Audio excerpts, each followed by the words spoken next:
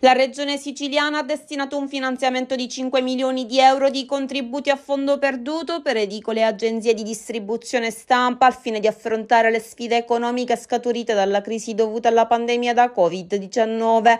Queste risorse derivano dal piano di sviluppo e coesione. Gli avvisi per accedere a tali agevolazioni sono pubblicati sul sito web dell'IRFIS. Il presidente della regione Renato Schifani sottolinea l'importanza di questa iniziativa come supporto ad un settore strategico dell'economia siciliana.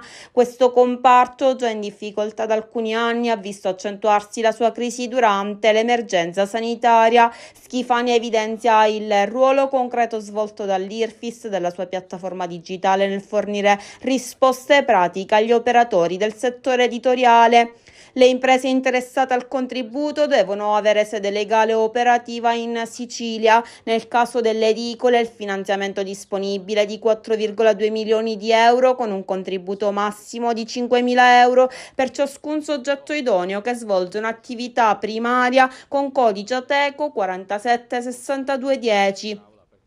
Eventuali risorse residue dopo la distribuzione saranno assegnate in parti uguali tra i soggetti idonei che svolgono un'attività secondaria con lo stesso codice ATECO, sempre nel limite massimo di 5.000 euro. Per le agenzie di distribuzione stampa il plafond eh, finanziario è di 800.000 euro. Il beneficio sarà erogato in parti uguali a tutti i richiedenti fino ad un massimo di 100.000 euro ciascuno per le imprese operanti al 31 dicembre 2018 e di 30.000 30.000 euro ciascuno per quelle non ancora operanti a quella data. Il contributo in entrambi i casi non potrà superare un terzo del fatturato aziendale del 2019.